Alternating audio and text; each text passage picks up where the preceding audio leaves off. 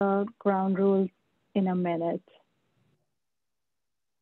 Um, I'd like to call the meeting to order at 6.32 p.m. and go over the agenda briefly. Um, we'll start with uh, GPAC roll call, Pledge of Allegiance, and then approve the minutes from uh, our last meeting a week ago. Um, and the main purpose of the meeting today, though, is to continue our discussions on the goals and policies for various topics that will be addressed in the general plan. And today's topics are health and equity, as well as parks and recreation. Um, we'll briefly review what we've already heard from the technical analysis and through the community feedback in the last couple of years, and then uh, provide an overview of the key outcomes, goals, and policies uh, that will be contained in the general plan. Um, the purpose of uh, sharing that now is to get your input so those these can be refined um, and then included in the actual general plan document as we prepare it over the fall. Let's start with some introductions. Um, I'll have Carlene Saxton, Director of Economic and Community Development, introduce the city team. Thank you. Good evening, everybody. Last one. You made it. Thank you so much. Um, so I'm Carlene Saxton, as Simran said, Director of Economic and Community Development. We also have Megan Taggart, our Planning Manager, Ben Fiss, our Senior Planner, Drew Pletcher, our Deputy City Attorney. Um, I believe Steve Montenegro, our Urban Grounds and Green Space Superintendent, is also on. Carrie Smith, our Director of Parks and Recreation. And then we have some staff from Public Works Traffic Transportation side as well. We look forward to the great discussions and thank you again for your commitment. Thanks, Carlene. Um, and you all know Melissa Stark, who's a senior planner planner with Raimi and Associates. She's here, and you'll be hearing from her today as well. Um, let's do roll call for the GPAC. Uh, please unmute yourself and acknowledge um, that you're here. Um, Tony Avila. President, good evening. Good evening. Uh, Juan Blanco. Can you hear me? Because I'm on a headset tonight. yes, we can. Welcome. Okay. Um, Okay. Lourdes Everett, Good evening. Present. Colby Estes, Yes, present. Laura Gordon, I'm here. Teresa Hambro, Good evening. Matt Harris, I'm here. Good evening. Aurora Hernandez. I don't think Aurora is here yet. Um, Pat Hunt, Living the dream. Terry Kaneshiro. I don't think here yet. Terry Lamping, Present. um, Debbie Rutkowski Hines, I believe, is out today, and Jason Zink. Present. Welcome, everyone. And now Melissa will lead us in the Pledge of Allegiance. Thanks. If you all could mute yourself, please stand, place your right hand over your heart, and begin after me. I pledge allegiance to the flag of the United States of America and to the republic for which it stands, one nation, under God, indivisible, with liberty and justice for all. Thank you, and you may be seated.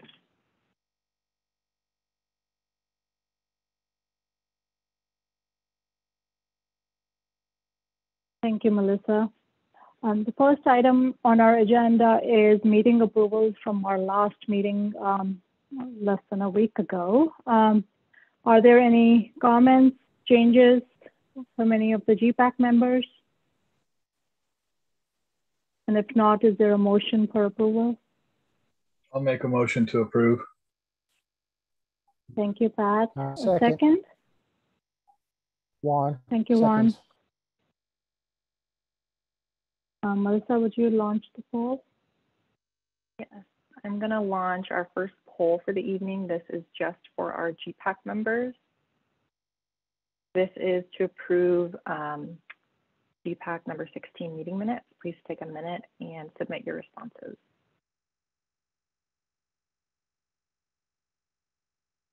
I think that's everyone? Okay. Thank you all.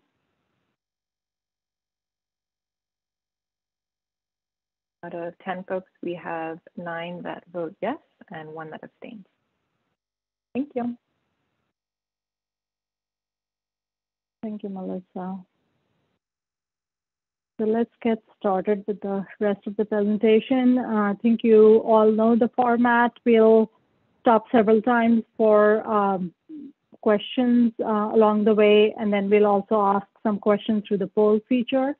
Um, as you all know, there are limits to uh, how Zoom polls work, so sometimes the choices may not be as um, as extensive as we would like, but uh, we'd like you to uh, raise your hands uh, for the GPAC members and share your comments that you think are not reflected in the options that are provided in the poll.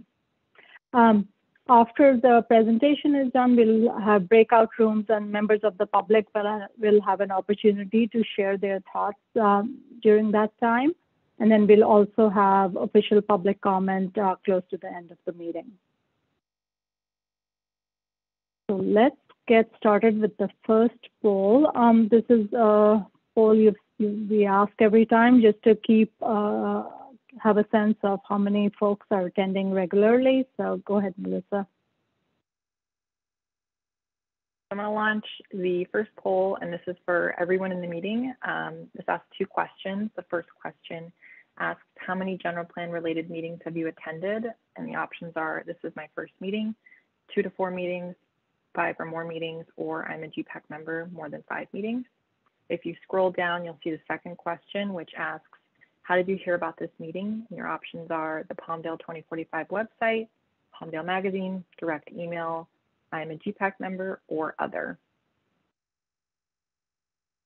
Take a few seconds to submit your responses and we'll share the results with the rest of the group.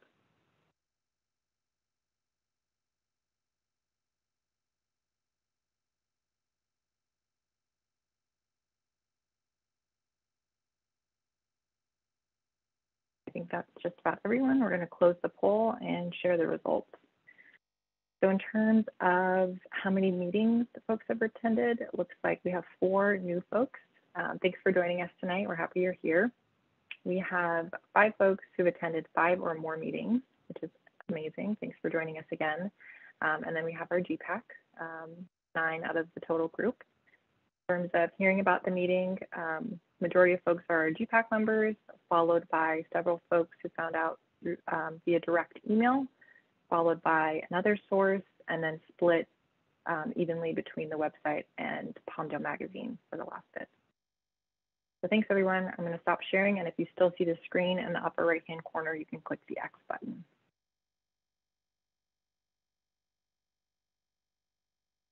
So very briefly, um, want to walk through what's required in general plans um, in California. And as I've noted previously, all cities in California are required to prepare a general plan, which is a long range policy document for the city.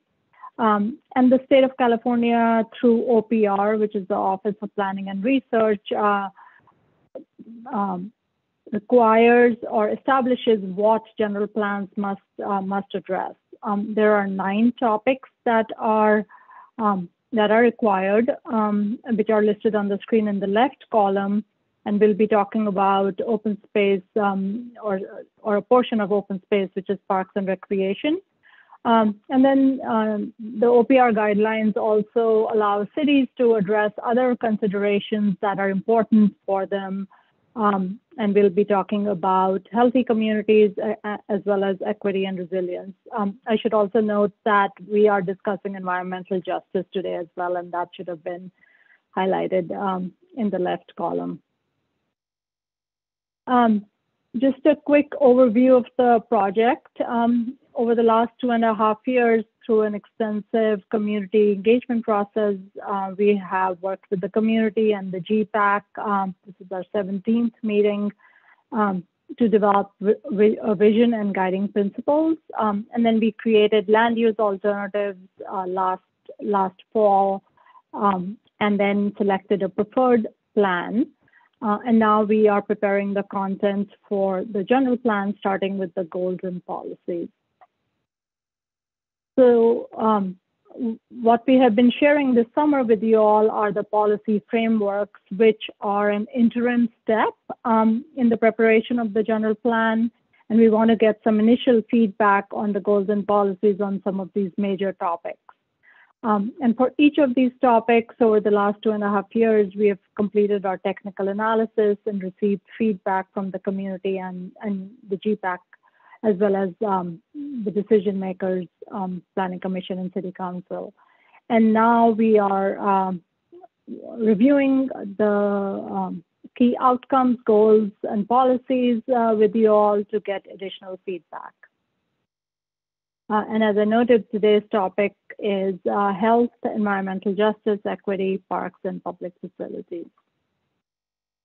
Um, we'll start with an overview of the existing setting. Um, first, health and equity. Um, so the general plan will have a health equity and environmental justice element. And um, this is a recent addition to uh, what's required in general plans to be addressed. This topic is. Um, and this is based on SB 1000, which is also known as the Planning for Healthy Communities Act. Um, it was passed in 2016. Uh, and this mandate requires cities address health disparities and environmental justice issues in low income communities within the area that's covered by the general plan. Um, the topics that need to be included include um, environmental pollution or exposure to specific pollution sources, um, built environment indicators such as safe and sanitary housing, access to parks, as well as crime and public safety. Other health outcomes such as disease prevalence and access to healthcare also must be addressed. And then in combination with these, um, these topics, population characteristics such as income, race, ethnicity, and educational attainment also are to be considered since these uh, socioeconomic issues have been linked to disparate uh, outcomes in certain, uh, certain populations and groups. Uh, SB 1000 um, also mandates the methodology for determining if a community has um, disadvantaged communities. Um, and we had shared a detailed overview of this methodology last year, I believe it was in October um, at a GPAC meeting. Um, so today we won't go over um, that entire methodology again, but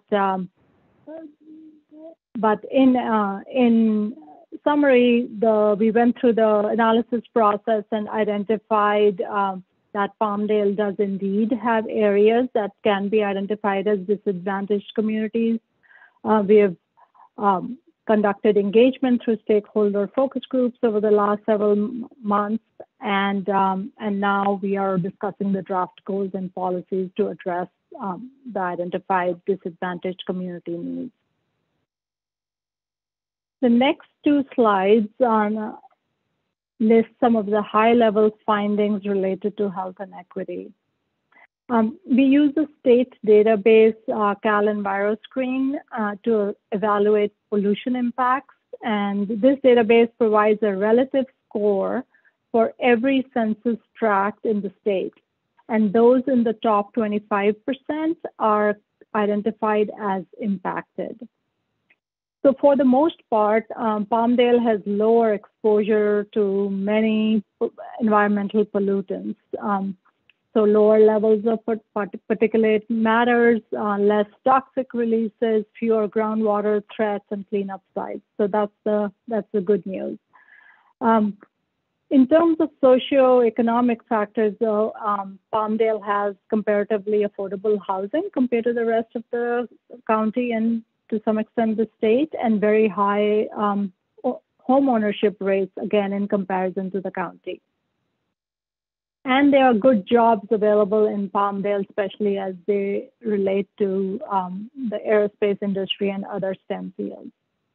but there's a need for improved access to higher education and vocational education to match the current population to these jobs. So there's still work to be uh, done in this field. Um, some of the challenges and threats related to our findings include um, the fact that life expectancy in um, Palmdale is about four years lower than the rest of the county's average. And almost half of the population is under 200% of the federal poverty line. So that, when linked with um, the the news, the uh, uh, that when linked with the finding that there's more affordable housing in, in Palmdale, which is good, there's, it also identifies there isn't enough affordable housing for the, uh, for the residents of Palmdale. Um, other findings include um, that less than half the population today is within 20 minutes walking distance of a park. Um, and then there's limited access to healthy, healthy food retailers and uh, across the city. Uh, and this is uh, through the entire city, not just the disadvantaged communities. One of the pollution factors that does rise to the top 25% of the worst census tracts uh, in the state is high levels of ozone. Um, and this is not specific to Palmdale, but it's a factor that affects all of Antelope Valley. Um, the annual average actually exceeds safe levels for vulnerable populations, especially those with certain health con conditions. Some of the related impacts can be seen in the health of Palmdale residents. Um, compared to county-wide averages, Palmdale has higher rates of asthma and uh, asthma-related emergency room visits, uh, COPD, as well as coronary heart disease. Um, we also observe higher rates of obesity in both adults and youth. And there's a link to sedentary lifestyles, um, long commute times, and less smaller use of active modes of transportation, walking or biking in the community. And all these health impacts are disproportionately higher in low income communities as well as communities of color. Uh, this map shows the census tracts um, with disadvantaged communities are shown in the orangey, uh, orange color on the map.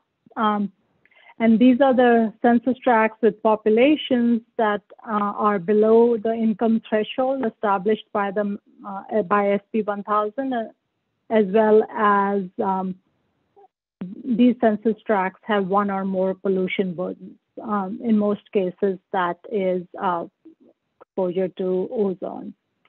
And the unpopulated census tracts, um, um, and these are areas which are agricultural areas, the quarries or unpopulated hillsides are screened out, and those are shown in the in the bright yellow on the screen. This slide lists some of the feedback we have heard frequently through the process and has been addressed through the land use and other policy frameworks as well. Um, and these include um, desire for additional medical and higher education facilities in the city, improved access for transit and other modes of uh, active transportation such as walking and biking, um, more grocery stores across the city that sell um, healthy produce, um, as well as um, the desire to see more shade and tree trees uh, planted in within the city. The topics that will be addressed in the health and equity element are cross-cutting with some of the other elements that we've discussed um, over the last several weeks. Um, and these include land use, mobility, economic development, safety, um, and safety. Um, and the specific topics that are to be included um, are economic opportunity and education parity, uh, access, improved access to healthcare, housing, um, obesity or um, how to uh, how to reduce uh, um, the occurrence of that within the within the city, uh, improvements to air quality and respiratory health, uh, improved access to healthy food, uh, retailers primarily, and uh, reduced crime and improved public safety. So with that, um, I will turn this over to Melissa to uh, cover some of the background findings on parks and recreation. Melissa? Thanks, Simran. So if you go to the next slide. So parks, recreation, and trails are required topics to be addressed in the general plan. This can be through a standalone element or included within an open space element. Um, it addresses, um, it maps existing planned and priority areas for parks, recreation, and trails. It includes a target or standard for public parks, usually expressed in acres of parkland per 1,000 residents. It helps set goals and metrics for the future and help and has ways to track progress over time. And the element can also establish criteria for determining parks requirements and development through either dedication of land to be used for future parks or through an in lieu fee, which would go towards the city's fund for updating existing parks and or developing new parks. On the next slide, we highlight some of the existing conditions data for parks and trails in Palmdale. You'll see we have roughly 365 acres of parkland with a variety of, uh, of amenities. Um, the existing goal is to have five acres of parkland per 1,000 residents. So as of right now, we're only at about 45% of that goal. We need several hundred more acres to reach our existing standard. Um, in terms of beds and parking, et cetera, are fairly limited. Um, a few of them are listed here, but we know there are several more informal trails in the city's foothills. We go to the next slide. Um, in terms of recreation, the city operates 12 recreation and cultural facilities, including public pools, skate parks, the library, cultural center, legacy commons, um, the best of the west softball complex, and dry town, among many others. Um, this is a map of existing parks, recreation, and trail facilities in Palmdale. Um, you'll notice it's a little hard to see, but there is a distinction between existing parks. Those are shown in more of a Kelly green. Um, and then future parks. So these are city-owned properties that are planned in the future at some point to be a park. Um, the timeline may or may not be established yet. Those are shown in a brighter teal green. Um, and a lot of those, I think, are primarily on the east side of town. Um, we also know that several park sites also include recreation facilities like Marie Kerr and Palmdale Oasis. Um, and then purple, the purple circles indicate parks and parks and rec sites. As I mentioned, Marie Kerr and, and Oasis have um, additional recreation facilities. And then the dark blue indicate the standalone recreation facilities. Um, the orange circles are the trailheads. Um, and overall, you can see that there's pretty good coverage in terms of parks and trails and recreation, um, generally distributed across town um, and generally where people live.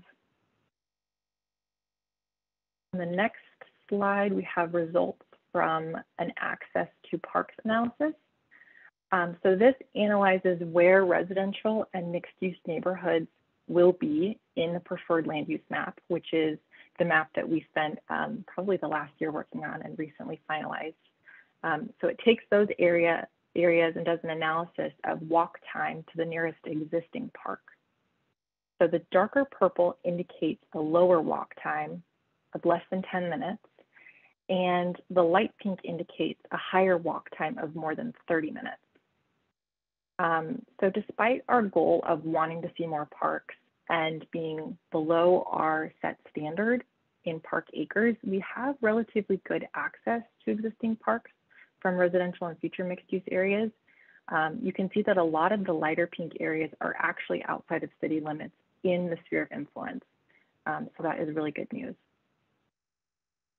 on the next slide, we highlight some of the strengths and challenges from our background research and community feedback. Um, in terms of strengths, we have the 365 acres of parkland. We have several city-run cultural and rec facilities. There are existing partnerships within the Antelope Valley that offer community programs, and it's a city priority to maintain and improve existing parks and rec facilities. In terms of challenges, um, park and recreation funding is limited, especially for acquisition of new sites and construction of new facilities. And then access is both a strength and a challenge. We know that facilities are generally spread across town, which is great, that's a strength. But then um, we also know that some parks and rec sites are more easily accessible to certain residents and harder to access for others, which is a challenge. I'm go on the next slide. Um, so we also wanted to touch on some of the recent and upcoming parks improvements. We know um, parks and recreation are very important and a priority for the city, so it's great to be able to share some of this progress. Both uh, Marie Kerr and Dominic Massari parks have had recent upgrades to basketball courts. Marie Kerr has also had upgrades to children's play equipment and the addition of new adult fitness stations. And then the new Rancho Vista Park is underway um, it's expected to be completed later this year, I believe, um, and it will include things like an open grassy area for play, well-lit walking paths, connections to the nearby Esperanza Elementary School, um, restrooms, and a play structure. Next slide. As with all elements of the general plan, there are several other topics that we incorporate through goals and policies. This element will touch on trails, open space, and natural resources in addition to parks and recreation. And I'll also mention here that there will be a separate element devoted to open space conservation and natural resources that will also link back to parks and recreation with some overlap. Go to the next slide. Um, in terms of existing plans and programs that are relevant, um, the city's 1993 general plan has a great parks, recreation, and trails element that is informing many of the goals and policies for the updated draft element. Um, the city's 2018 capital improvements plan is a plan that addresses physical improvements for the city and it details upgrades to existing parks and development of future parks and also identifies funds to make that happen over a 10 year period. And then I'll also mention that the city has a draft active transportation plan, which has some overlap with parks and trails. And the last slide.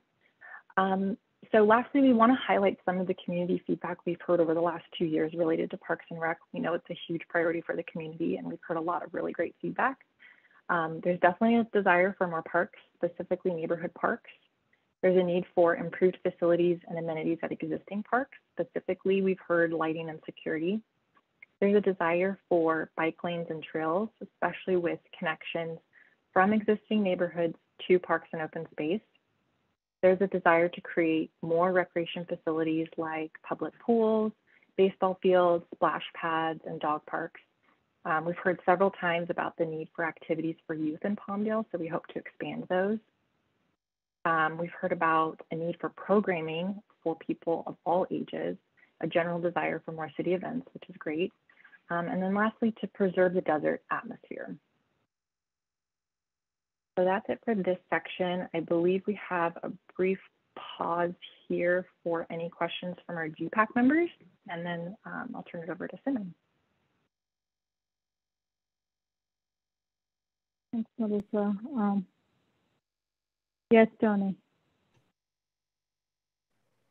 Uh, my question is in regards to uh, the health and equity subject matter. Uh, it's a two-part mm -hmm. question. Have we identified why we have uh, higher levels of ozone pollution in Palmdale? And is this what is uh, contributing uh, to the, the largest factor towards lower life expectancy? And if so, what are we doing to mitigate the pollution in our community as part of the general plan?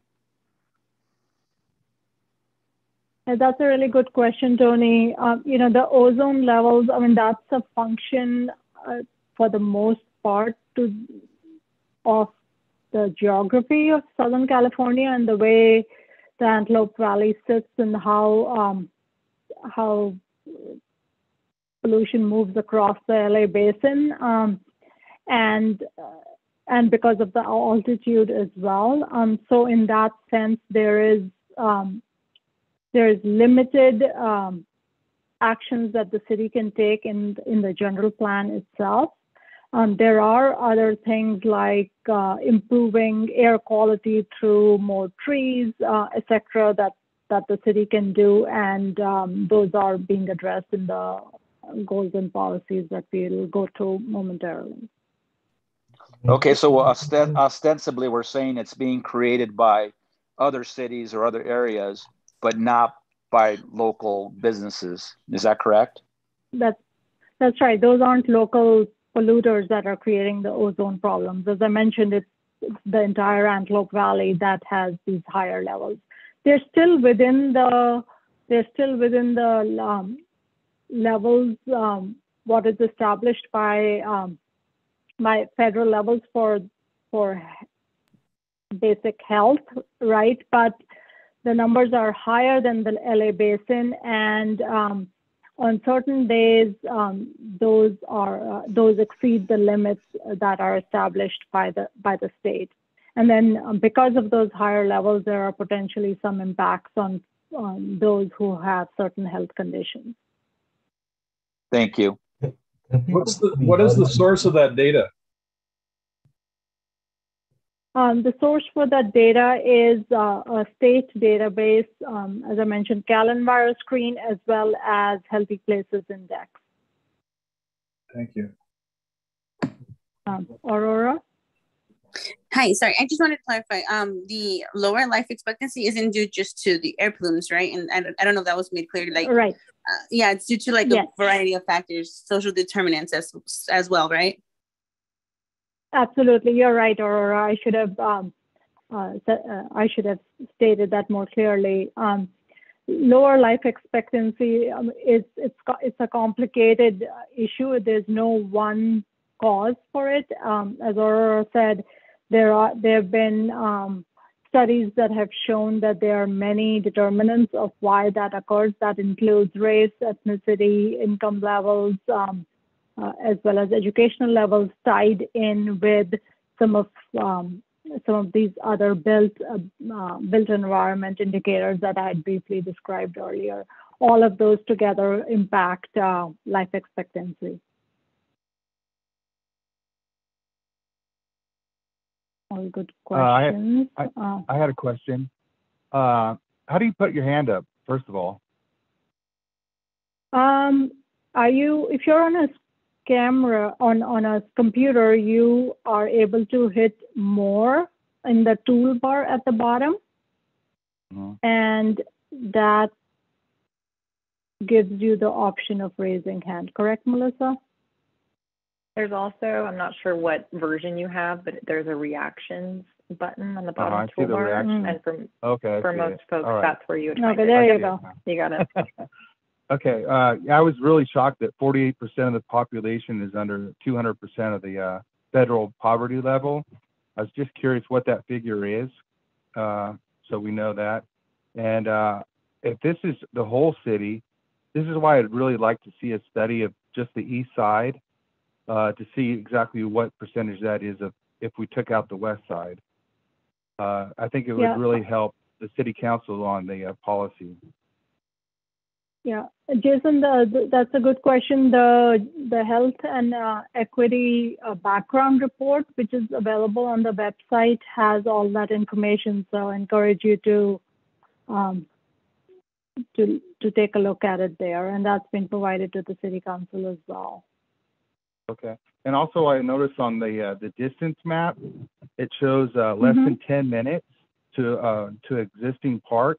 A lot of these areas are colored dark purple, and there's no park around whatsoever. And then also I noticed um, on the future parks, then uh, there's uh, some parks that are industrial areas that you guys put, and I identified one, two, three, four, five, six, seven, eight parks. Uh, uh like there's no park on the far west side, and there's no park uh, between 40th and 47th north of Palmdale Boulevard. Uh, there should be parks J- near Jason? the waterways. Yeah, Um, go ahead.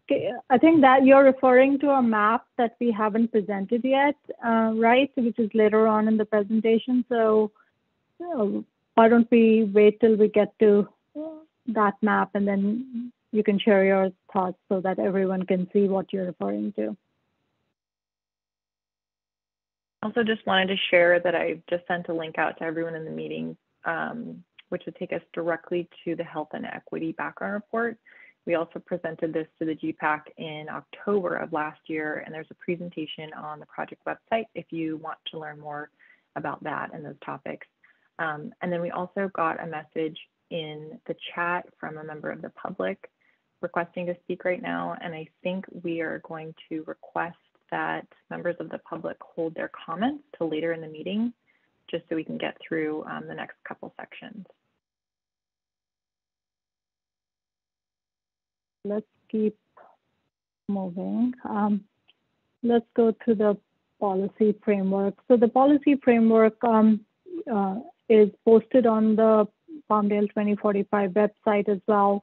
Uh, it is much more detailed than the presentation here, so I encourage everyone to uh, take a look at um, not just the, these policy frameworks, but also the ones that were previously um, previously um, discussed. Um, so the policy frameworks are an interim step. Um, they build on the 1993 general plan and are, are our initial ideas for policy direction. Um, these do not contain all the final goals and policies um, yet, um, but they articulate the general policy direction on the topic and then um, uh, with additional policies and measures that will be included in the public draft plan. So these are our first take at them. They're drafts. We would like your input. And so if you see something that's not being addressed, let us know and um, we'll, uh, we can discuss it further. Um, the policy framework is organized in three layers, outcomes, goals, and policies. Um, one of the aims is, um, so outcomes are statements where we want to be in 2045, which is the time horizon of the general plan. Uh, we have goals that implement the, um, that address those outcomes um, and the policies are specific statements that um, that guide decision making. So what cities need to do to what the city needs to uh, implement to to achieve that goal. Um, we also have performance metrics and targets, and these are intended to support ongoing assessment of implementation. So the city can use these targets and performance metrics over the next 25 years on a regular basis, annually, biannually, or some other period to assess how, uh, how well the city is uh, progressing towards uh, achieving the goals and uh, reaching the outcomes that are, that are included in the general plan. So let's start with the desired health and equity outcomes that have been uh, included in the in the uh, policy framework. Um, and these are expanded economic opportunities for existing residents. Um, and these are tied to jobs, job training, um, uh, etc. Um, other outcomes are diversity in housing stock, um, I think we have previously shared in previous meetings that um, most of the housing in Palmdale today is multifamily, excuse me, single family, and there is the need for additional multifamily uh, units which are more affordable than uh, than single family uh, to for, for the current residents, the current population, as well as future residents. Um, other outcomes are improved opportunities for physical activity, improved air quality, as well as um, improved access to healthy food through um, food sales with grocery stores and other retailers, but as well as other ways of uh, improving that access that we'll go uh, describe in a bit. Oh, I'm sorry, Melissa. I know we had a poll here, so why don't you launch that poll? Yes, thank you. Um, this poll again is open to everyone.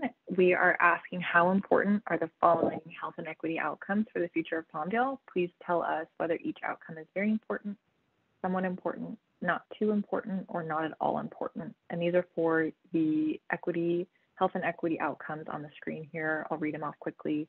Um, expanded economic opportunity for residents, increased number of multifamily housing units. This actually is just a more general diversity in housing stock, um, followed by improved opportunities for physical activity, improved air quality, strengthened access to healthy food. And I believe that's the last one. So please take a few seconds and answer um, these poll questions and we'll share the results with everyone shortly.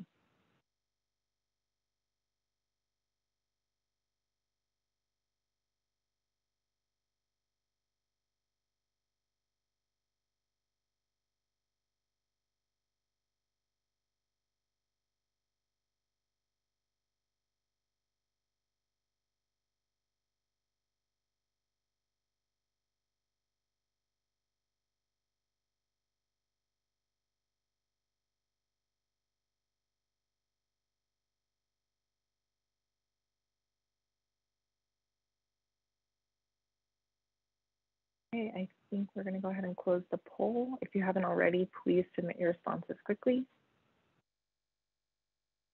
Um, so in terms of expanded economic opportunity for residents, majority of folks, 82% feel it's very important, followed by 18% who feel it's somewhat important. In terms of diversity of housing or, or increase in number of multifamily units, um, 64% agree that it's very important, 32% feel it's somewhat important, and 5% feel it's not important at all. In terms of improved opportunities for physical activity, 50% feel it's very important, 45% feel it's somewhat important, and 5% feel it's not too important. In terms of improved air quality, 68% feel it's very important, 27 feel it's somewhat important, and 5% feel it's not too important. And lastly, strengthened access to healthy foods. 68 feel it's very important, 23% feel it's somewhat important, and split both with 5% feel it's not too important or not important at all. All right, thanks everyone. We're going to close this.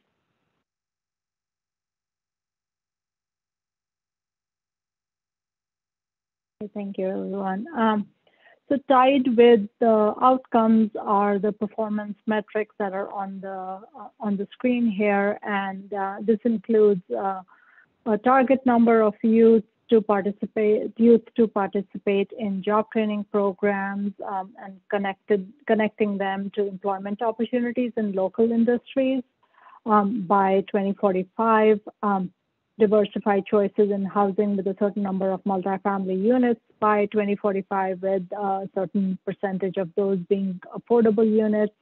Um, greatly increased access to parks, trails, and open space, um, as well as grocery stores um, um within, within a 20-minute walk, um, and then uh, a target number of uh, new trees uh, to be planted in the city uh, to help improve air quality. So now let's go over the goals and policies uh, for health and equity. The policy framework document has 16 goals uh, tied to this topic, and uh, we have shared seven of those. Uh, of those major goals are shared on the screen here, and we'll, we are focusing on five of these today to get, get your input. Uh, and these five are shown in the dark blue boxes. Um, please review the document uh, and provide feedback on the full framework as well. We would appreciate your, your thoughts on, uh, on the entire document. So the first goal is uh, tied to promoting access to quality healthcare. Um, while the city does not directly provide healthcare, there are several ways the cities can facilitate improved access. Um, the policies that are, um, are uh, being recommended for this include uh, implementation of the three health and wellness districts across the city, um, one around the Palmdale Regional Medical Center, uh, one near Kaiser, on Avenue S, um, and a new district on Palmdale uh, and 40th to 45th Street East. Palmdale Boulevard uh, and 40th to 45th Street East. Um, a related policy is to work with transit agencies to improve transit service to these facilities. Um, we have um, we have found that uh, access to transit is often uh, access via transit is one of the ways to help improve um, help improve um, folks being able to utilize the healthcare that uh, that is uh, actually being uh, is available for for residents. Um, another um, another uh, healthcare related uh, policy is tied to um, the fact that the entire city of Palmdale has been identified as a mental health provider shortage area. This is a federal um, designation, and uh, the policy uh, to deal with address that includes working with the County of Los Angeles uh, Health Department to provide additional programs and services to improve access to mental health care um, in Palmdale. And it can also include programs and services that help reduce stress and uh, address other uh, mental health considerations, especially for vulnerable populations. Um, this goal is uh, encourage safe and sanitary housing, um, and the policies include ensuring uh, ongoing and effective health and safety code um, enforcement, prioritizing rental properties, um, especially those that are uh, located in the disadvantaged communities. Um, another policy is to consider a housing rehabilitation program that assists multi-residential, uh, multi-family residential property owners uh, to improve their properties, uh, thus improving the affordable rental housing supply that's already in in the city. Um, Another policy includes um, working with Los Angeles County and other regional regional agencies uh, to establish a lead removal program for homes. Um, those were built over 1980. Um, as you may know, um, lead-based paint was banned in 1978. Um, so 1980 is used as a proxy for um, establishing whether a home might actually have lead paint uh, used in it and remediating that is uh, is really important, um, especially for those who have who have young kids um, and might uh, might ingest uh, lead. Um, another policy is to uh, prepare a healthy design checklist and uh, update zoning requirements that facilitate new development that is conducive to a healthier lifestyle. Um, the, um, so that new development encourages walkability, use of bikes, um, has open space and parks, as well as access to um, to other ways to improve the um, to have a more active lifestyle uh, and uh, address issues such as obesity. Another goal, um, which is similar, uh, is uh, to provide a range of uh, opportunities and choices to residents to exercise. Uh, this is another way to improve health outcomes. Uh, and Melissa will talk about this in a little bit more detail in the Parks and Recreation um, section uh, shortly, but the goal is to um, or the policies address improving access to parks and open space, especially in those areas uh, where um, where that access is more limited, and uh, to provide trail connections um, to connect up with the larger regional trail uh, system, so it's safer and easier to access those areas for um, for improving physical activity. Um, and again, there are opportunities, and the policy uh, policy is to um, work with the local school districts to allow city residents to access outdoor recreational areas during non-school hours, and um, and then finally to uh, enhance existing streetscapes um, to uh, be safer for uh, uh to, uh, to, encourage uh, walking as well as having additional safety features for street crossings and tra traffic calming. Um, the next goal is tied to relate uh, and related to improving air quality. Um, Tony, this kind of touches at how do we address the, the issues we had identified earlier. Um, and the policies include planting new, more street trees, a significant number of new street trees to help with uh, both shade, but also help improve air quality. Uh, other policies include transitioning the city's vehicle fleet to lower emission fuel technologies.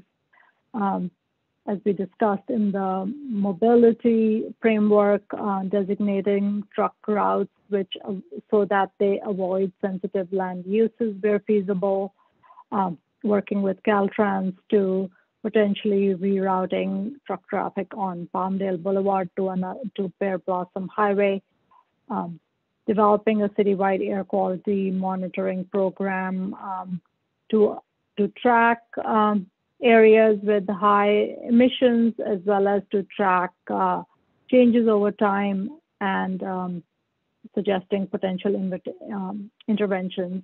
And then through the land use element, um, avoiding the siting of sensitive uses near uh, land uses that produce localized air pollution. And sensitive uses include schools, senior housing, child care centers, um, and, uh, and affordable housing. Uh, this goal is uh, related to providing access to affordable and high quality produce. Um, the city of Palmdale today does not have um, any certified farmers market here, and uh, a policy is to uh, work to attract one or more um, of, of, uh, of these um, events to the city. These usually have local um, or nearby um, producers of produce who sell um, who sell produce at these events and is a, a great way of um, making uh, fresh produce uh, accessible to, to the local community. Um, there are also um, other incentives that the city can um, provide uh, to locate for grocery stores to sell fresh and healthy foods, uh, especially those that locate in uh, the areas identified as disadvantaged, and to improve transit access to these stores. Um, in the land use element, we talked about village centers, which is where grocery stores might locate. Um, and since those are intended to be within a 20 minute uh, walking distance from the residence, um, the um, the um, general plan encourages that um, that access to healthy food is uh, much more achievable achievable in the future than than it is today. Um, other Policies include uh, limiting fast food and liquor stores in neighborhoods with a significant concentration um, near child sensitive areas, especially schools, parks, and childcare facilities. And, um, and then uh, another policy is to uh, encourage local food production, community gardens, uh, and uh, farmers markets, as I mentioned, on vacant or underutilized parcels. Um, so this is a summary of, um, of the goals. Um, I won't read these out again, but I see Aurora has a hand up. So Aurora, go ahead, uh, ask your question. Um, I was just wondering, uh, what is it that you guys, how is it that you guys determine what communities are disadvantaged? Like what do you guys use to identify disadvantaged communities? Um, we had um, so the state establishes a methodology that we are required to use um, to establish which census tracts are considered disadvantaged. Um, and um, we had covered that at a previous GPAC meeting. We can share the information with you again, to, and um, you know we can also walk you through it at another time. That that was a it's a long process, so um, okay, we we can do that offline if you like. Yeah, I was just wondering, it's consistent though, right? It's a consistent definition you guys use. Okay. Yes, absolutely. I'll share a link right now to that presentation from our GPAC meeting back in October. Thank you. If anyone else wants to take a look. Thanks, Melissa. Um, other questions um, before we move on? Yes, Jason. Yeah, I was just saying, how can Antelope Valley Country Club be considered disadvantaged community? Maybe it's grouped into the census, but it doesn't. Yes. These maps need to be able to, uh, so we can focus on the real areas. Like a lot of the industrial areas is disadvantaged community. There's no homes or anything in that area. So I think these maps do it, don't do the council or the community any good if they don't really pinpoint the areas. You know what I'm saying? Thank you. Yeah, I agree, Jason. The, the unfortunately, we are required to use the methodology established by the state, which is at the tract level. Um, we had, we were able to isolate the areas that are not populated or have, you know, just a, a handful of folks um, who live there because the entire census tract is identified or tagged with with a very with the metrics of, of a very small number. So we, we were able to do that. But um, within the tracks that are identified, you're right. There are areas which are either don't have residents or are um, are potentially not disadvantaged, but we we are doing that for uh, we need to follow the methodology and uh, identify the entire census tract. And I think that's a caveat. Um, we will make sure we share with the council as they as they review the information we provide them um, next week. And Teresa? Yes, I had two questions. My first one was about trees. You had mentioned mm -hmm. um, planting about 600 trees. What types of trees would those be? Um, I think that's too detailed. Uh, um, determination for the general plan to make. Um, I think the tree the the tree species that are uh, selected will be uh, done so as a follow up. Um, I think somebody from city staff, you know, the Parks and Rec folks may be able to um, give give us a sense of what kind of trees are appropriate for the Palmdale uh, climate um, and which can help the best our there are several criteria that the general plan will establish. One is, um, you know, drought tolerant, uh, certainly given the water uh, considerations uh, we are all facing. Shade, uh, especially uh, given how what the weather is Simran. like. Also, you know, the high desert climate. Yes. Sorry, I can chime in a little bit. Um, and it's Steve. If you feel like you want to speak, uh, you are more than welcome. He's our landscape guru and tree uh, he's actually a certified arborist, very knowledgeable about this subject. Um, so Perfect. one of the things that we already have is an approved plant palette, and he's on unmuted, so I'm going to let him take it. Thanks, Steve. Uh, thank you, Carlene. Uh, good evening, everybody. Uh, uh Ms. Hambro, thank you for your question. Um, we have over 22,000 city maintained trees. Uh, we keep a, a, tree inventory that we update uh, periodically every year, actually. Uh, we're constantly updating it as we service our urban forest. Um, one of the benefits of that data is we establish a tree diversity um, metrics and we can see where we have room for improvement. Some of the considerations along with uh, um, drought um, tolerant qualities include resistance to pests and diseases um, and uh, general um, genetic attributes that make them um, strong candidates for our extreme microclimate. Um, the city's approved plant list is um, geared towards um, success here in, in the high desert. And we are certainly always looking for new candidates uh, to incorporate to that list. Okay, thank you. Uh, thank you I, I, I do like shade.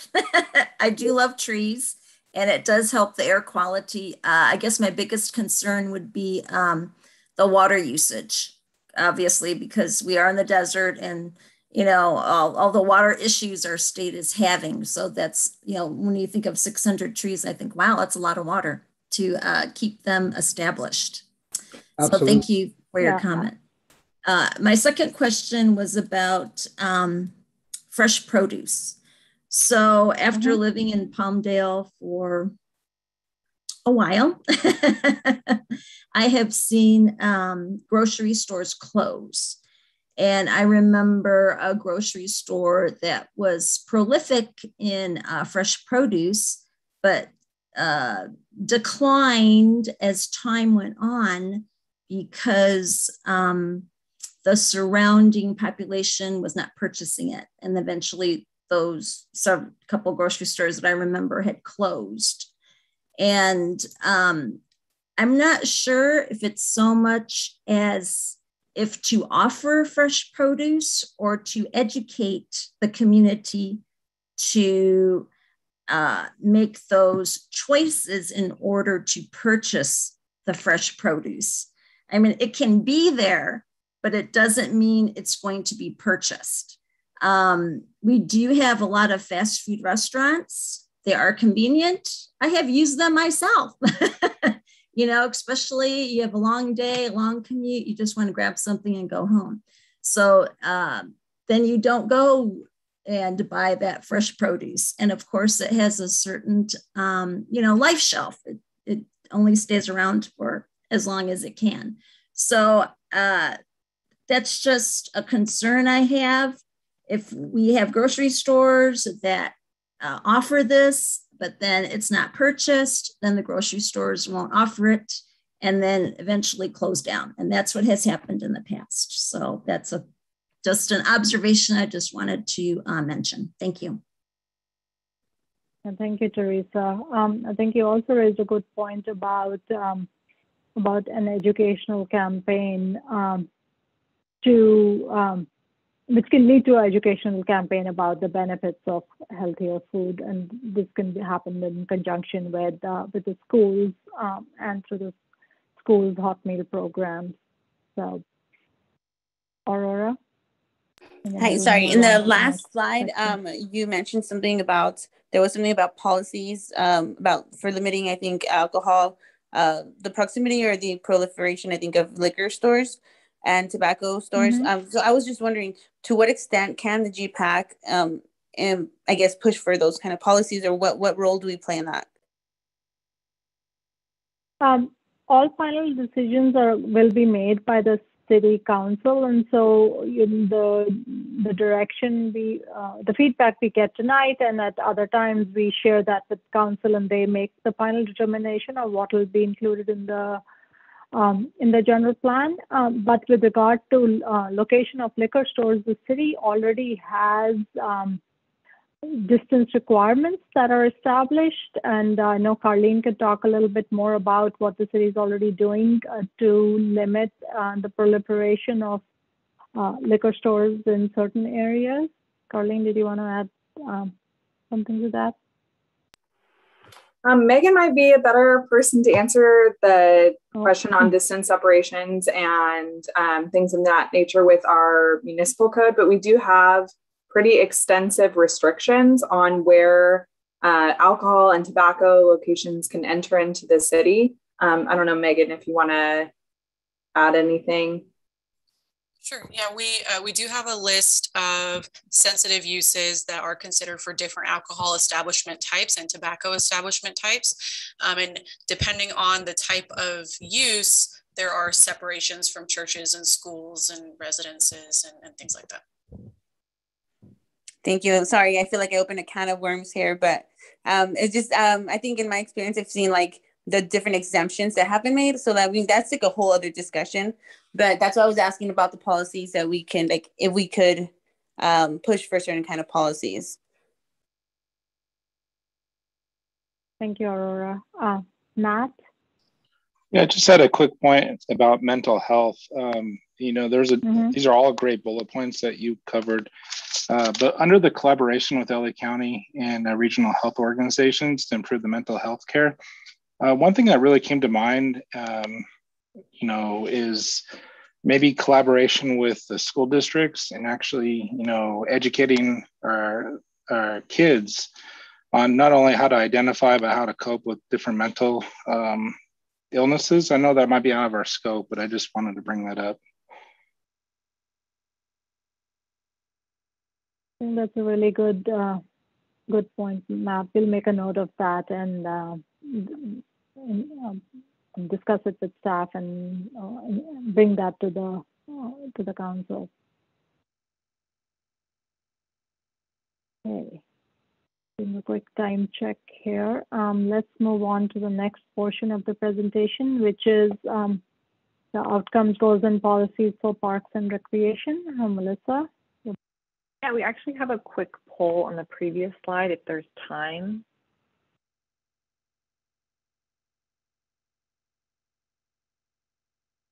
Sorry, let's move on to um, to Parks and Rec. I think we had the discussion in general. Okay, let me get situated here. So we are looking at, um, yes, so desired Parks and Rec outcomes. Um, so as we get into the goals and policies for Parks and Rec, we're going to begin with the desired outcomes, um, similar to what Simran just walked us through for um, health and equity. Um, these are essentially uh, where we want to be at 2045. Um, so starting with connectivity, connections to new and existing parks, open space, and recreational facilities from neighborhoods. Thinking about new parkland, we want to identify and acquire land for new parks in coordination with state, um, with local, state, and federal partners. Partnerships, we want to maintain and expand existing programs with Antelope Valley Partners for Health and other similar organizations that provide recreational amenities and upgrades to existing facilities, including amenities and active and passive recreation areas to make them accessible for people of all ages and abilities. Um, and do we want to skip this poll as well? No, let's let's do this poll.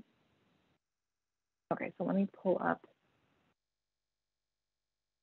is related to parks and rec outcomes. I'm going to launch this right now. Um, so this asks how important are the following parks and rec outcomes for the future of Palmdale? Please tell us um, whether each outcome is very important, somewhat important, not too important, or not important at all. Um, and again, these are for the outcomes listed on the screen, connectivity, new parkland, partnerships, and upgrades to existing facilities. Please take a moment and submit your responses, and then we'll share with everyone.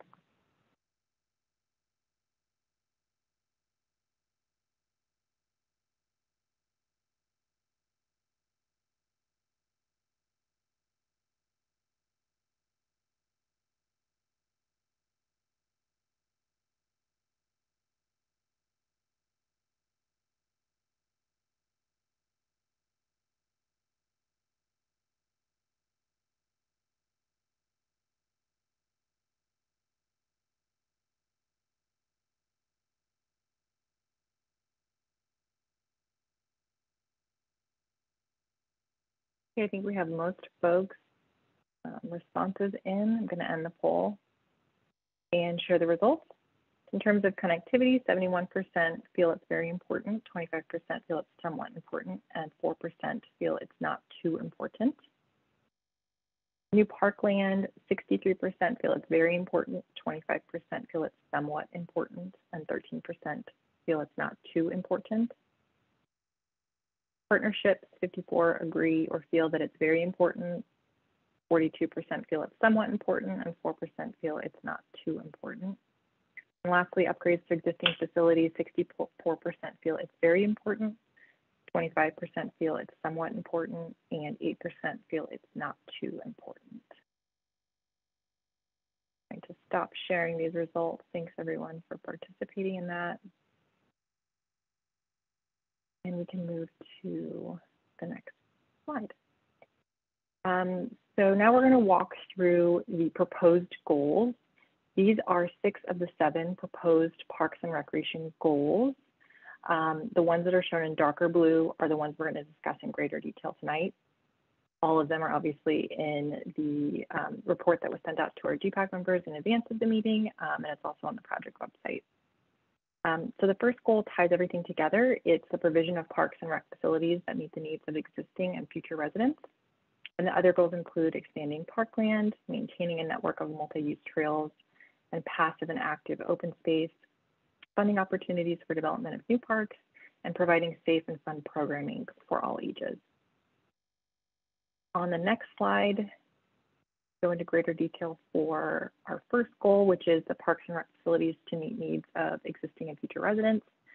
Um, there's several policies listed here that help get us to our goal of, of providing more parks and rec facilities.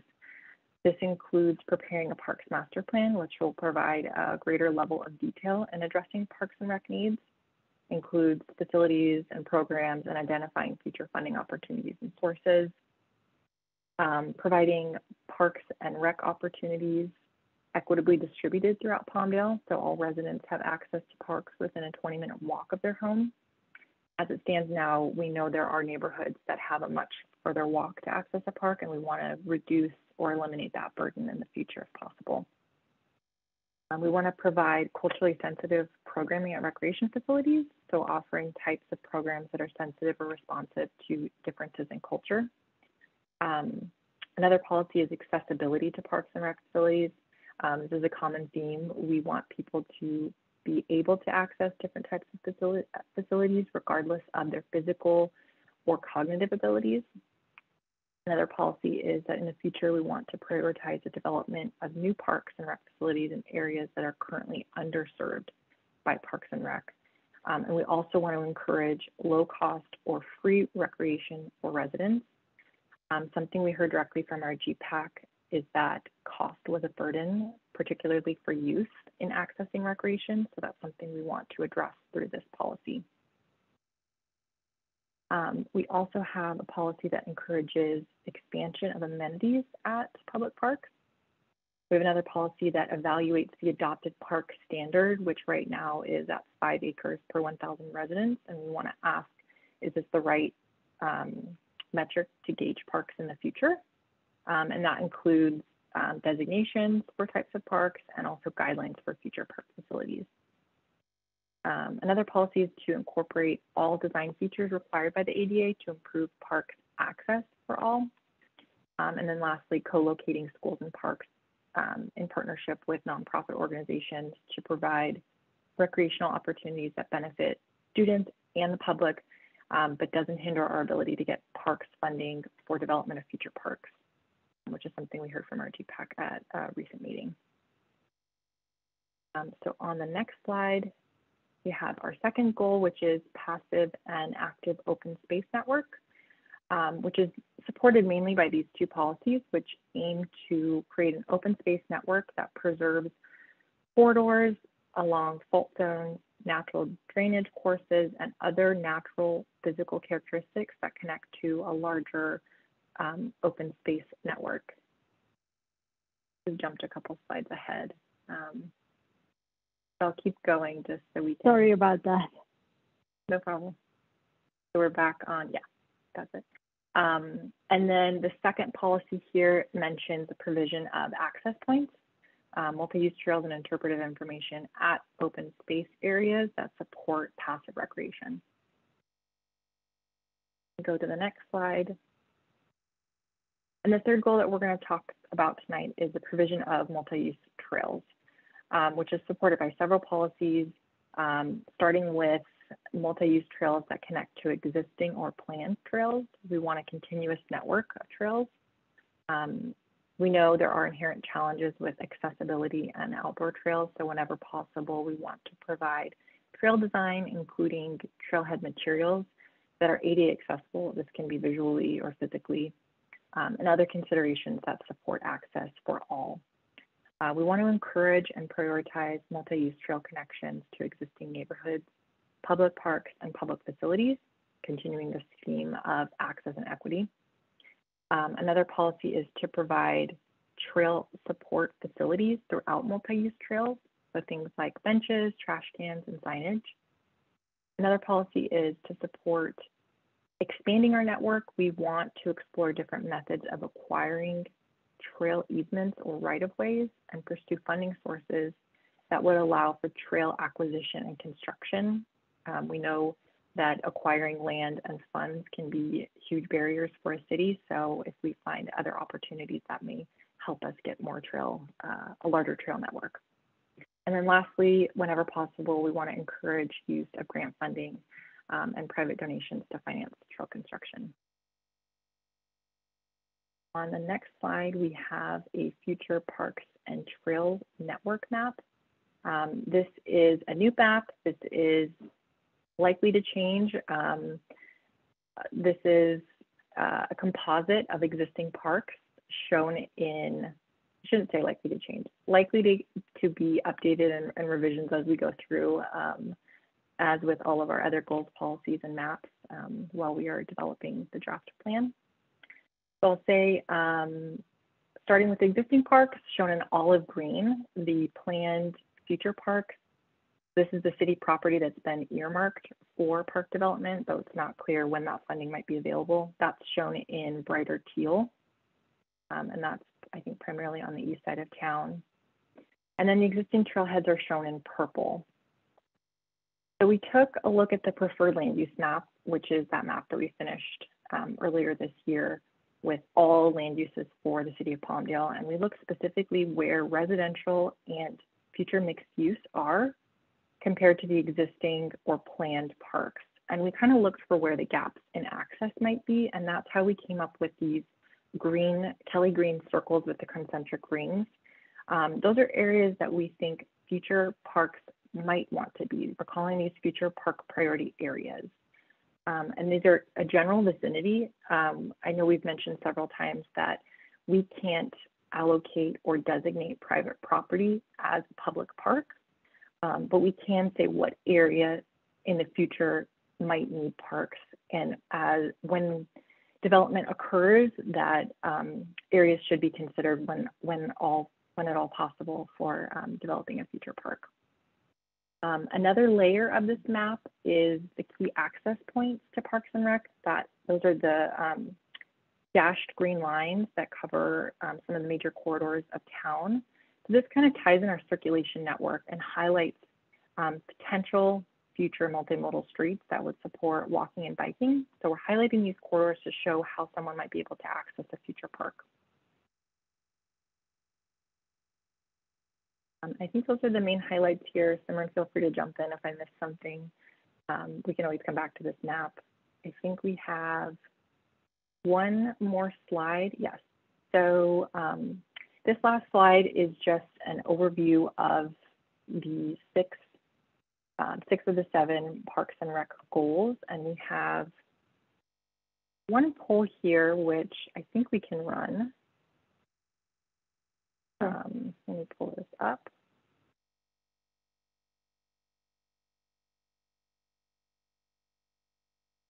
Quick poll, I'm going to launch this now and ask um, do these goals address the vision themes and outcomes identified for parks and recreation for the general plan update? And your options are yes, no, or I'd like to share additional comment and you can raise the hand, um, the raise hand tool and we will call on you.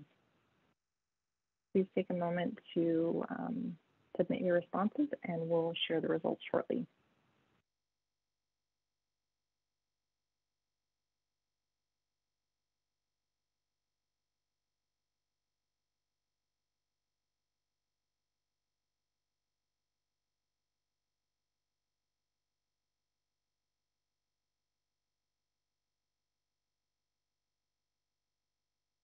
If you haven't already, please submit your response. Okay, I'm going to close this poll and share our results. So um, when asked if these goals address the vision themes and outcomes identified for Parks and Rec in the general plan update, 89% of folks agreed that yes, they do. 5% um, split said no, they don't, or I would like to share additional comments. Um, so if you, um, someone wants has a question or additional comment to share, please raise your hand. We can call on you. Go ahead, Jason. Uh, yeah, like I said, I just think there should be more areas identified uh, on the map. Uh, there's like trains and there's, uh, you know, roads and uh, mm-hmm. that you can't cross if you're in a neighborhood. And so you need to look at that. Also, the train owns, uh, the train tracks own some land that could be used for uh, pocket parks that we could look at, like on 40th Street East where the train crosses. Uh, also, uh, I noticed we didn't talk about any historical significance areas in in this. Uh, I'd like to see the city of Palmdale start a, a, state conservancy district and a conservancy job corps. That way, we it open up more opportunities for grants locally, and we could hire all the foster kids and stuff to take care of the trails and work in the uh, in the in the city parks. We're one of the only areas in the whole state of California that doesn't have one. We've lost hundreds of millions of dollars. Antelope Valley has. Um, we've talked about a, a youth commission. Uh, I read it in the pa packet. Uh, I'd like to see a Parks and Recreation Commission also and a Senior Commission added. Uh, also, uh, I think that the uh, I always lose my train of thought. Oh, on the thing it says 90% of the uh, city wants to be within 20 minutes of a park. I think we should make it 10 minutes to a walkable uh, park if we want to be a walkable community. I think we, instead of 600 trees, I'd like to see a thousand trees added if we're really going to try to reduce air quality, uh, make air quality better. Uh, we need 5,000 job training. I think we need 10,000 job training. We graduate over 2,000 kids every year from the, uh, the three high schools and the charter schools. And we're trying to do that by 2045 and we're 50,000 jobs short as commuters. And it says 50,000 units uh, for low income, 20% of it to be low income. I think in Antelope Valley, 50% of all new development should be affordable housing. Uh, um, and I think we need 10,000 units, not 5,000. Uh, uh, Jason, can you hold the rest of your comments? Uh, I want to try and get to the breakout room so that the members of the public who have been patiently waiting uh, this whole time uh, can share their thoughts as well. Uh, would that be okay?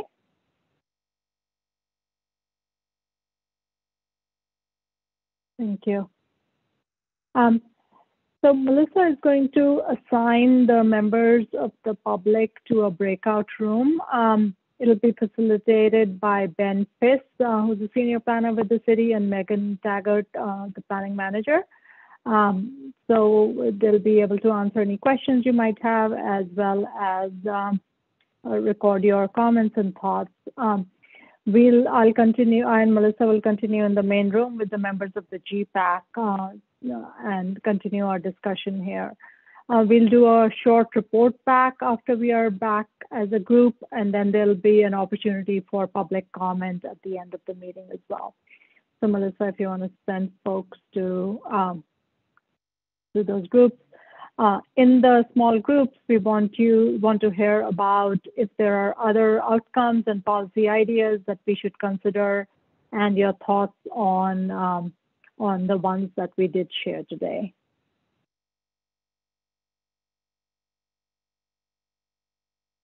So the breakout room for members of the public has been opened. If you haven't accepted your invitation yet, please do that now. We have still have a few folks who are um, in the main room.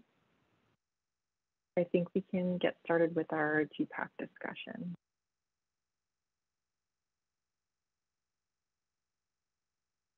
Okay. All right, Jason, uh, if you wanted to um, finish your uh, uh, uh, your comments, um, and then others um, other members of the GPAC. I think what's really missing, yeah, what's really missing in our community that we need to emphasize is our community groups who are really suffering with uh, membership and stuff. Uh, anywhere from the women's club to the Moose Lodge to, uh, you know, high school groups uh, and athletic groups. And I think the city needs to have a website with all the listed groups and uh, and a way for people to donate to these groups too, and also the city foundation too. I think that we need to have a festival of the community groups where people can come out and visit these community groups and try to make their uh, the groups stronger. The Emerald Club used to, you know, gives uh, tacos out at the fairground. They didn't have enough members, so they quit doing it uh, last year. They've been doing that for 50 years. So I don't think there's enough pride in Palmdale. Uh, Rachel Garcia, the, uh, the, our Olympian who won the silver medal, we didn't have any, um, you know, posters of her around town or Olympic flags or anything to kind of create some pride about her going to the Olympics. So that was kind of sad. We didn't celebrate Mayor Pete Knight's uh, world record, you know, 50th anniversary. We didn't even celebrate it uh, two years ago. And uh, we just don't have any aerospace pride like we used to in the 80s with the space shuttle and everything like that. And yet we're, we're building things that outdo the space shuttle and everything. Uh, the, the Palmdale Boulevard, rerouting it, uh, we shouldn't use Pearblossom Highway. We should use Avenue M if we're going to try to reroute it off. But we should emphasize the P8 freeway and building that from the freeway to 50th Street East. But uh, rerouting uh, traffic to Pearblossom Highway, you're adding probably 30 minutes to a drive, and people aren't going to do that. Uh, like I said, we need to increase the dwellings. We need to increase uh, uh, from 5,000 to 10,000 uh, for low income in the next 50, by 2045. 25 years, we're only going to build that, and we're going to add. How many people are we going to add in the next 25 years? I'd like to know that the population. So we kind of have a group on that, and to know that we're oh, uh, we only have about 45% of the parkland that we're supposed to have, according to five acres per thousand people. We're 435 acres short right now at our population level. We should have 800 acres. We only have 365 acres. And also, I want to make another note of the historical significance. We haven't talked about that at all in the general plan. Thank you for your time. Um, Thank you, Jason. Go ahead, uh, Matt. Yeah, I just had a question in regards to uh, park acreage. Would a museum be counted as a park? And if so, you know, like kind of spinning off what Jason was talking about, like the aerospace, you know, I know we have the air park, but having something more indoors and uh, really uh, glorifying our aerospace um, history, um, you know, just a thought. I'm just curious if that count as a park. Um, museums technically don't count as parks if they are, um, you know, if they are primarily uh, exhibits, but if there are grounds associated with it which are uh, have other recreational opportunities, then the, those could be um, considered as such. So So what about other members of the GPAC? Um, are there other outcomes we should consider for both health and equity and uh, parks and recreation that we haven't um, talked about yet?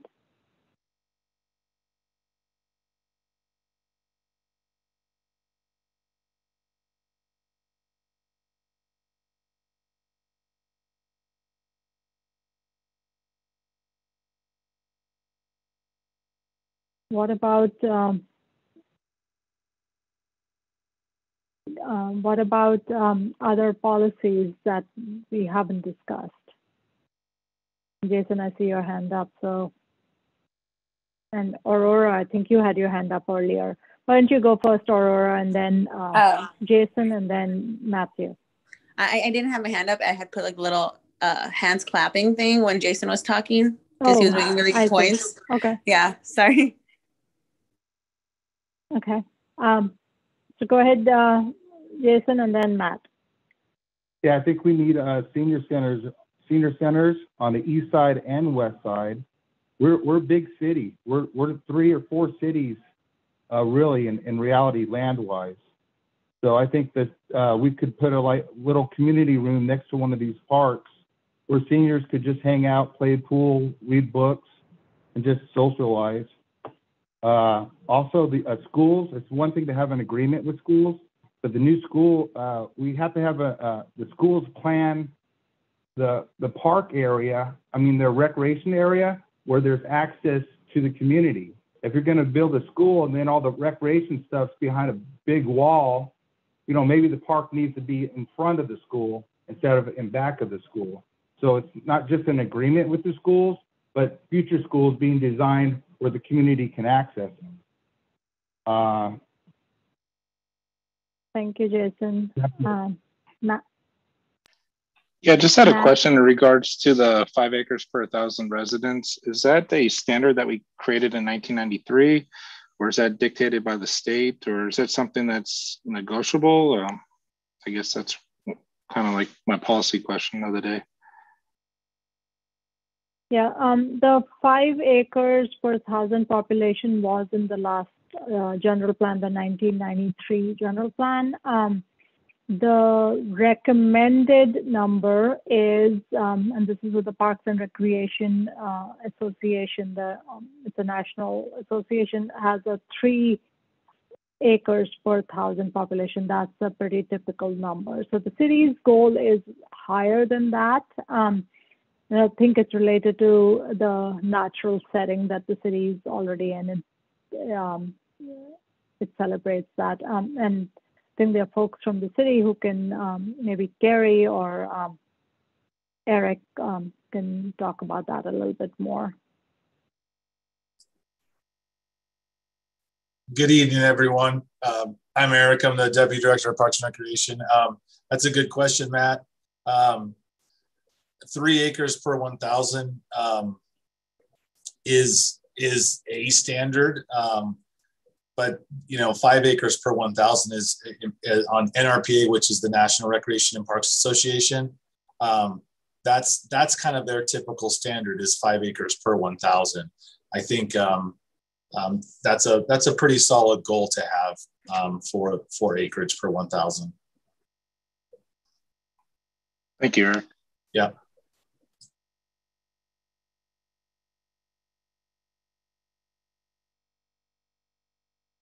Other questions, uh, comments?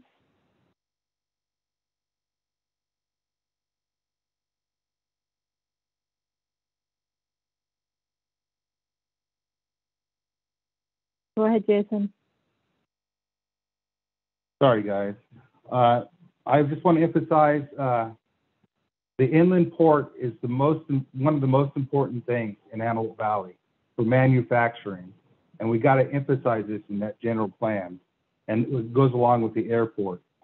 Because uh, now we can manufacture stuff in America cheaper than what China can make it because of robotics and 3D printing. So we need to push on that big time and the manufacture it here so they don't have to ship it all the way from Asia to here. The other thing is Courson uh, Shopping Center, the Courson Park area, uh, which I call is downtown.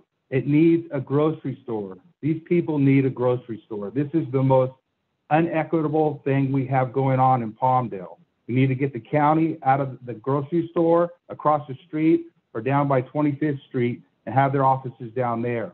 This community needs their grocery store. It's not right what, what's going on. These people don't have any cars. You know, they're low income. They need a grocery store. Uh, the other thing is, I'd like to see a city zoo and like Bakersfield has, Palm Springs has. I just came from Glendale, Arizona. They have one. Uh, also, the uh, an arboretum. Why can't we have an arboretum? You know, uh, grow different uh, trees and plants and have that near the city zoo. We need to have parks by the Palmdale Lake, Una Lake, and Indian Ponds, which what you guys don't know is it's a natural spring on 40th and the Aqueduct, 40th Street East and the Aqueduct there's ponds out there and springs. It's an Indian grounds. There's Indian artifacts. We call it the haunted ponds as a kid. Uh, and the city, uh, the Palmdale Water District owns the land around Una Lake.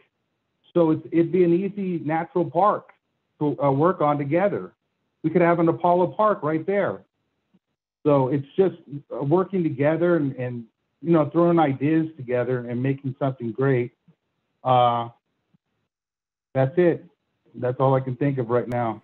I'll I'll email you guys anything else. Thank you, Jason. Um, Tony.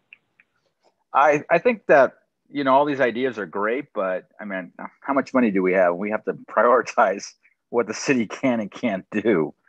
Um, I mean, our budget's not unlimited, and I mean, we can't have everything that we want. I mean, you know, I always wanted a pony, but I just never got one myself. Um, I think that we have to look at at everything that's going on in Palmdale and decide what's the most important thing for the community. And we also one of the biggest things I hear during the conversations I've been to I think this is our 17th meeting. I've been to 16 of them. And one of the things I know has upset a few of the members is the inequity between the east and the west side. And I'd love a study to find out well, what is the inequity? I mean, how much money is being spent on each side in terms of property values, or excuse me, in terms of uh, investment, uh, parks, and everything else. And that way, we don't have this perception that one side's better than the other, that the freeways is is some type of boundary that divides us all. Do we have some type of study? Do we have something within the general plan that that uh, addresses that? Um, so the general plan um, doesn't have a specific study um, that compares in, uh, public investments on the east and west side. Um, the identification of the areas, um, those are perceptions, but they are um, they are the analysis we did is uh, is supporting that. and this is the analysis that I talked about earlier in the presentation, and it was more detailed in our uh, in our previous uh, presentation. That there are health and there are outcomes, health outcomes, and equity outcomes that are specific to uh, portions of the east side where there's uh, higher concentrations of both lower income as well as uh, uh, as well as people of color. Um, I, under, I, under, I understand that, but a lot, many of those inequities are, you know, may have to do with also, you know, certain prices, home prices. Um, houses are more expensive on the west side, but I don't think that it's a, a, a separation that's on purpose. It just is what it is at this point.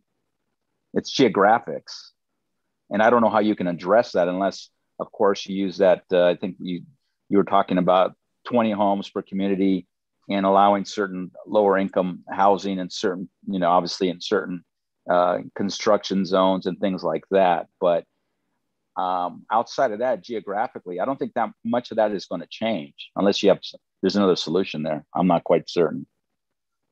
Yeah, well, home prices are a are a function of, of um, it's a chicken and an egg thing. Uh, condition, home conditions, uh, neighborhood conditions affect home prices, and and the reverse as well. So um, I think the, the analysis that we have presented show that there are some disparities, some are perceived, some are real, and uh, in investments or, dis- or policies in the general plan can over time help address those um, uh, disparities.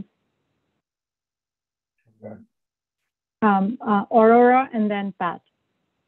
Hi. Um. So, uh, in terms of the the, uh, the disparities between the two, there's a I think there's the large amount of um, resources, but I know that the, the county has a Healthy Places Index, I believe it's called Healthy Places Index, which allows you to look at the two communities and it allows you like to filter through different um, different I guess indicators that show um, mm-hmm. like the lower life expectancy and different things that um, contribute to that.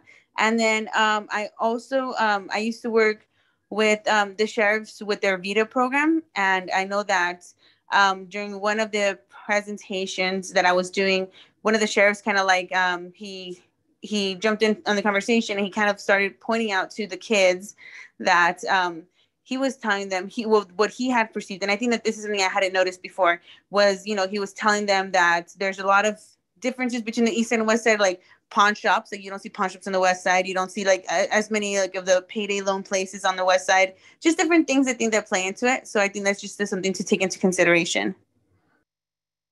Thank you, Aurora. Um, Pat? Well, when it comes to the real estate, the su- supply and demand is what's dictating the, the, real estate market right now. And I don't think that's going to change a whole lot over the next few years until tracks can be built and we can get our inventory up. Um, the thought that keeps coming to me through all the conversations about trees and parks and all that stuff is that we live in a high desert. We have some extreme weather and cold in the winter, hot in the summer, really hot in this summer. Um, we have a, a severe drought. Not sure how long it's going to take to come out of that. I keep in mind, keep thinking that we're looking at a 25 year plan and this is what this is as a roadmap on, on our growth.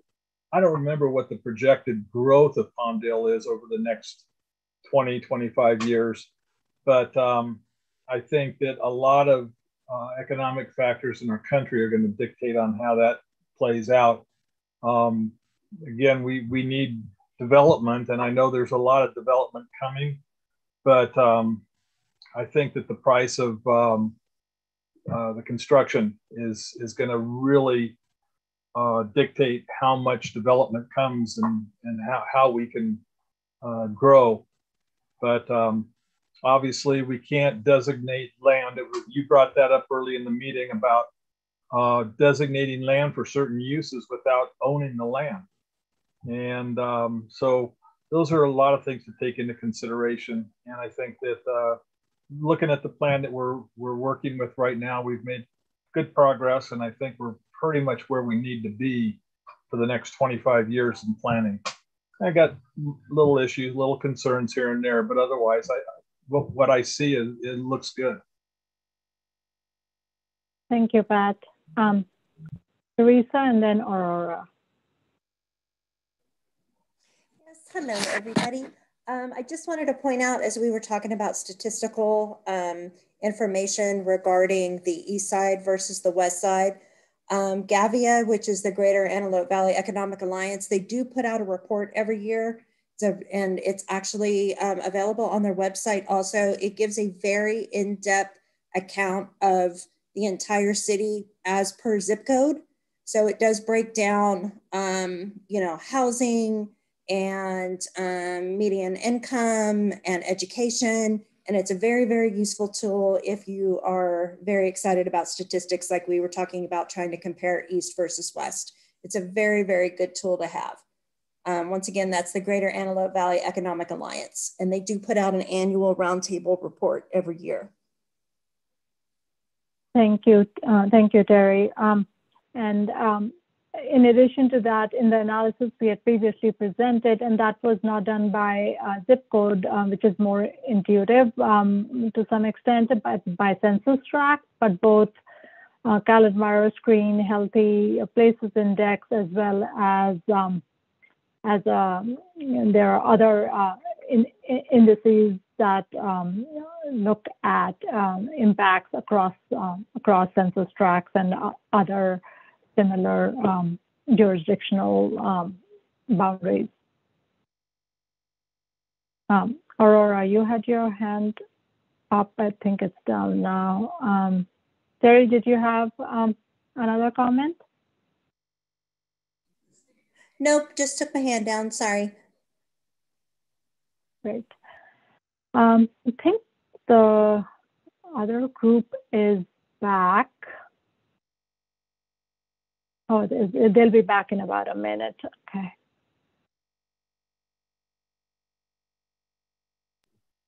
Looks like they're back. Okay.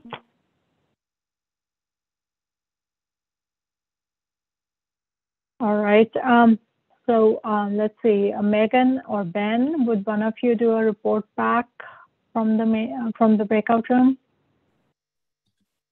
Sure. So we did have some good um, discussion.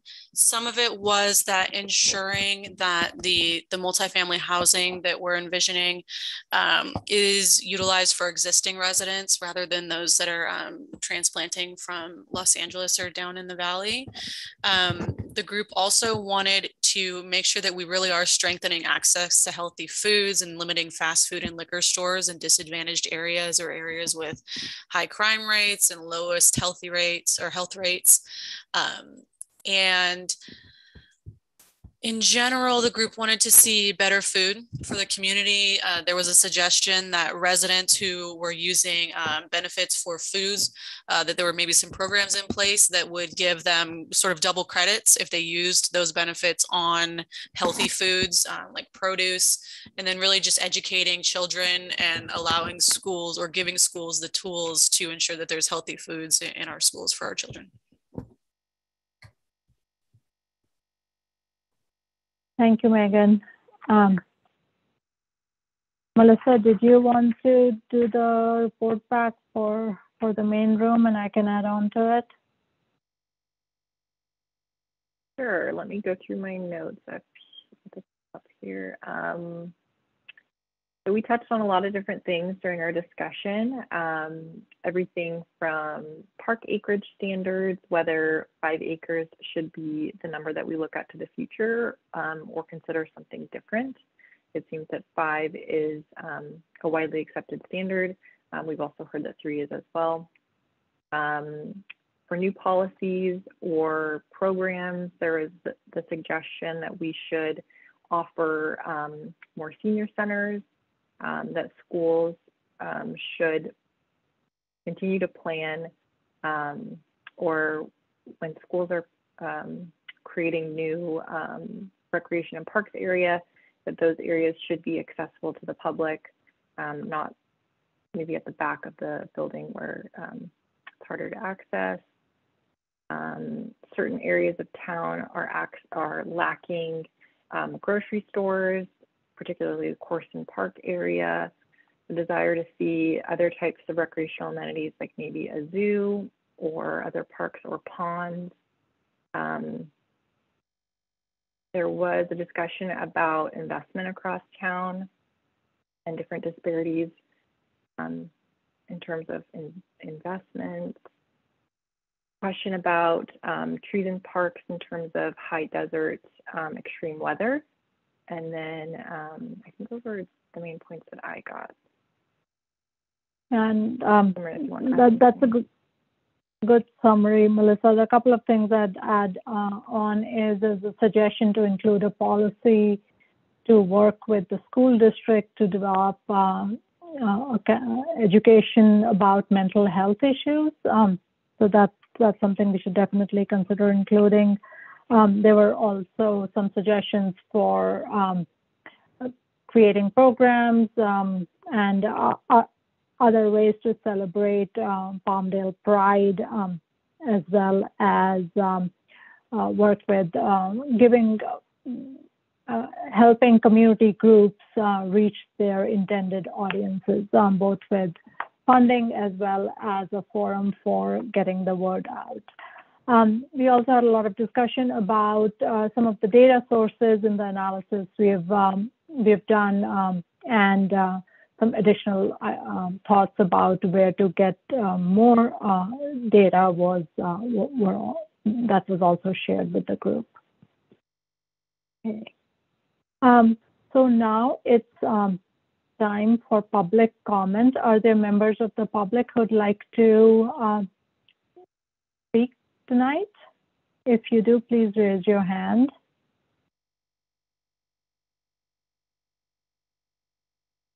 I know some uh, some folks had their hand earlier during the presentation. Um,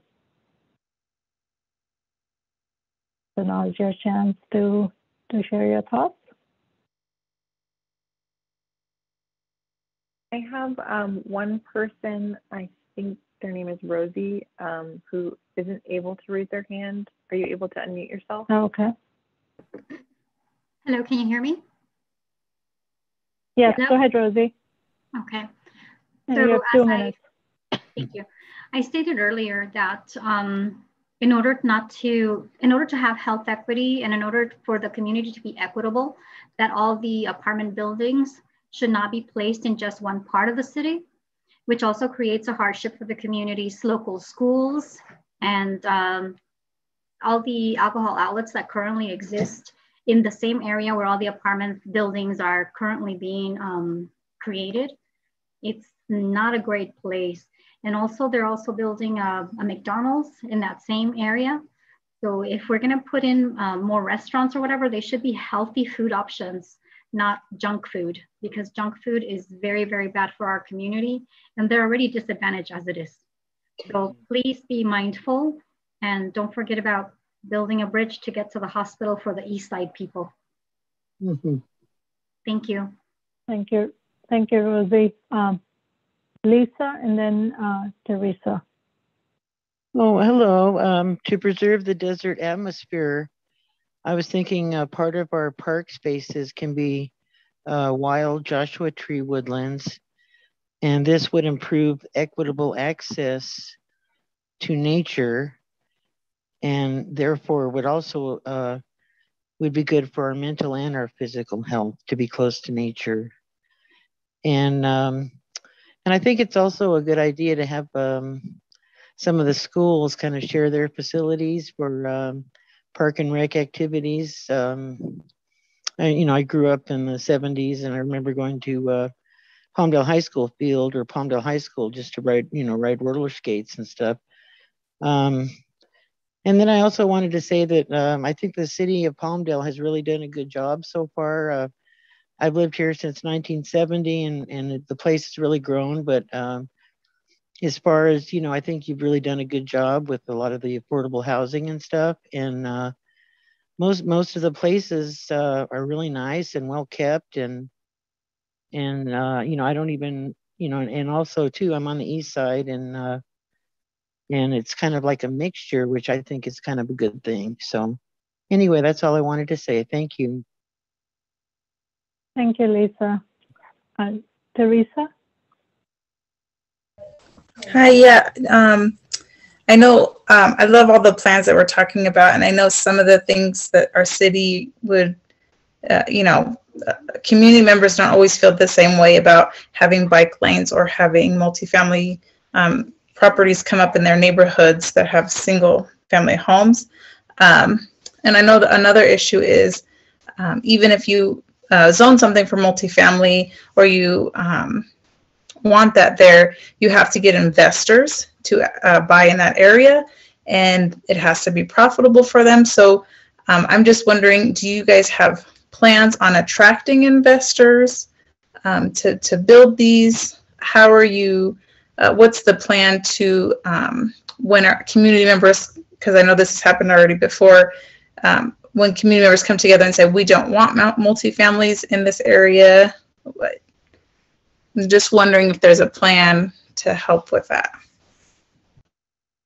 Yeah, um, that's a really good question, Teresa. Um, state law, um, especially those um, that have been passed in the last few years, have um, required cities to allow housing by right in areas where they are designated. Um, so there is limited opportunity for uh, neighbors to have a project denied. Um, so, um, so, that's the short answer to, to that question. And we can have uh, city staff, um, if you want to uh, text uh, or chat your uh, email address to city uh, to Melissa, who's the host, um, she can share your address with uh, with city staff who can give you more information about this later. Thank you. Okay. Uh, I don't see any other hands raised. Um, so very briefly, um, I think Melissa will walk us through how to provide uh, comments on the project website. Um, all the policy frameworks we have discussed so far are also available for download. Um, downloading and sending an email with any comments, or you can uh, provide those right on the website. Melissa? Yeah, thanks, Simran. I just sent everyone in, in the meeting um, a chat with a link to the Palmdale website, which is palmdale2045.org. Um, we have an entire web page dedicated to all the policy frameworks. Um, this meeting just covered two of them, but there are several other documents that we'd love for you to review and comment on. Um, this uh, slide shows what you'll see on the project website. Um, if you click one more time, you also have the ability, in addition to actually viewing the document on the project website, you can also provide comments.